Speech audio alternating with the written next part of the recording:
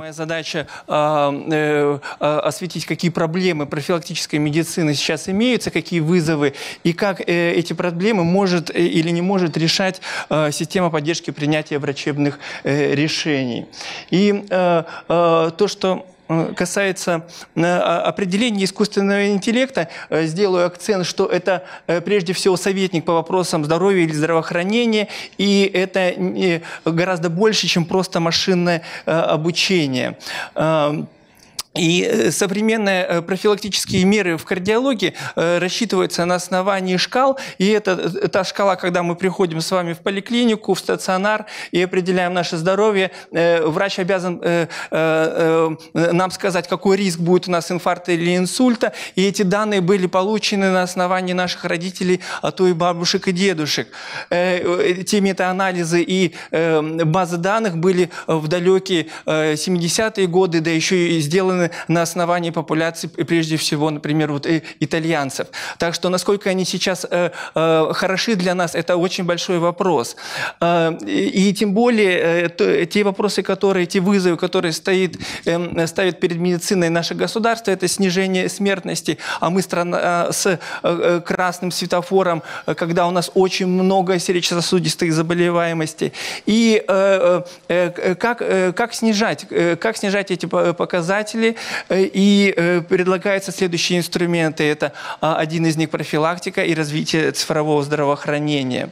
А, э, тенденции мировые говорят о том, что люди будут жить дольше, заболеваний будет накапливаться больше, проблема нехватки кадров была озвучена в том числе на открытой линии с президентом. Все эти вопросы для нас ясны, и как их решать очень-очень сложно. И и по мнению э, э, аналитиков, экспертов из США, э, искусственный интеллект – это будет та платформа, которая может решать эти проблемы. Несколько опубликованных данных говорят нам о том, что искусственный интеллект может прогнозировать очень хорошо смертность у людей, которые госпитализированы в стационар, либо быть заменой кардиологу, когда анализ ЭКГ был сопоставлен по, по точности с экспертизой врачей-кардиологов. И таким образом, а, говоря о том, что, а, что мы должны сегодня делать, ряд э, вопросов, которые отображены на слайде, может покрывать система поддержки принятия врачебных решений. А, и э, э, то, та система, которая была разработана компанией, она называется Вебиомед. Это облачная система, и, э, которая отвечает на вопрос определения вероятности прогноза развития заболеваний и анализируя факторы риска. А, Вебиомед состоит из трех частей. Скажу сразу же, что средняя часть Вебиомед LNP сейчас просто компанией Э, не, до конца не проработывается, но это в планах стоит. А э, э, базы данных деперсонифицированных историй болезней и, и система анализа и рекомендаций чекап и, и биометрия сейчас это сервисы работают и работают успешно. Э, э, методы обработки данных, которые э, делает эта система, основываются на входящих данных из медицинских информационных систем, которые подвергаются разным методам анализа, и мы можем видеть различные результаты этих анализов в виде оценки сердечно-сосудистых рисков, рисков других заболеваний, подозрений на заболевания, подозрений на ухудшение прогноза течения течение заболеваний. И э, в настоящее время в этой системе реализовано несколько шкал, э, и эти шкалы имеют разные направления и э, разные подходы, они дополняют друг друга, но в целом э, э, сумма анализа всех этих шкаф дает более точную э, информацию о э, пациенте. Э, мы использовали ряд э, э, медицинских документов. Это прежде всего международные наши рекомендации, международные, которые были приняты у нас в стране. И одна из эм, положений, как система работает, это прежде всего эти рекомендации.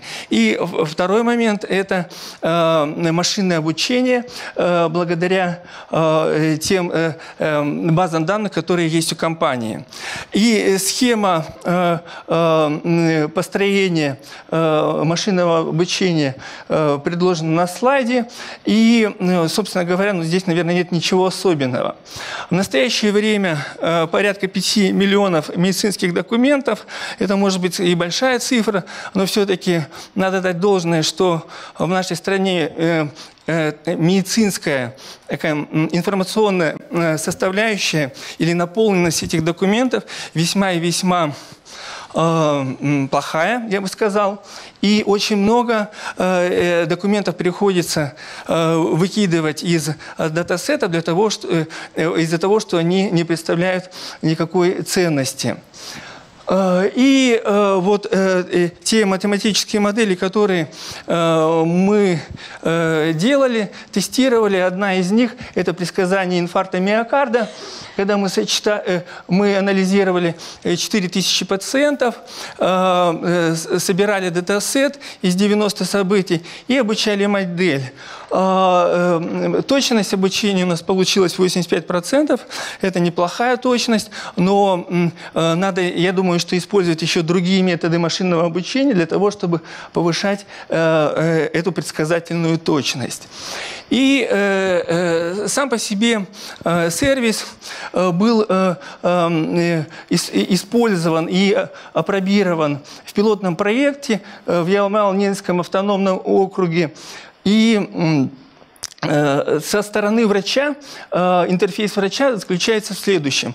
В амбулаторной карте пациента, например, для истории болезни, появляется кнопка, на которую врач нажимает, и, и происходит деперсонифицированный забор Э, медицинских данных пациента э, на облачный сервис, э, в котором происходит анализ этой медицинской информации. И э, результат э, э, поступает обратно в амбулаторную карту в виде всплывающего окна, э, где э, э, определяются э, риски. И если, например, вот, э, как на, представлено на слайде, сердечно-сосудистый э, риск очень высокий, можно нажать на эту всплывающую кнопку, и появляется окно, которое раскрывает ту проанализированную информацию, э, согласно э, э, каким методикам это было э, выполнено, какие были выявлены факторы риска и какие э, рекомендации э, может в таких ситуациях давать врач и пациенту, и рекомендации для самого пациента. Также возможен групповой анализ, когда по э, запросу можно проанализировать не индивидуально, а, например, весь участок или всю медицинскую организацию и выстроить э, э, картину здоровья, например, сердечно-сосудистых рисков у э, данной группы приписного населения. И за время э, пилотного проекта тестировалась система и определялась ее точность. И э, в рамках этого пилотного проекта мы сделали два клинических исследования. Это прежде всего э, определяли точность оценки рисков тех уже реализованных шкал, которые должны врачи использовать в своей работе. И обращу только ваше внимание на общий итог заключается в том, что в 53% случаев врачи, когда работали со шкалами, делали ошибки. А, и второе исследование, это касалось а, автоматического анализа медицинской документации и диспансеризации, которая была выполнена в поликлиниках. И ретроспективно определялось, например, за 17-18 год, как, э, какой риск ставил СППВР и какой риск был у, выставлен самим врачом. И на слайде пример того, насколько это может различаться.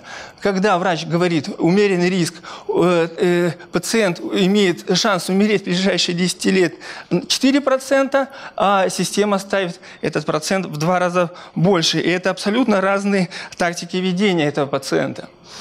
И э, также мы проанализировали, что пропускают врачи. Прежде всего гиперхолестерин, э, избыточную массу э, тела и повышенный уровень давления. Даже такие показатели. Да, они просто забывают учитывать или просто не обращают на это внимания. И э, еще один момент.